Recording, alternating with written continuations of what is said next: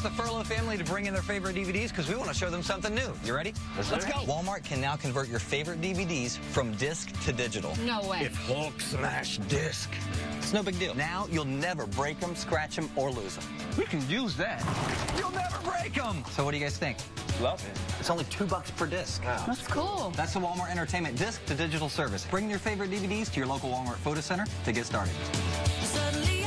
Don't go in there. Don't go in there. They don't listen.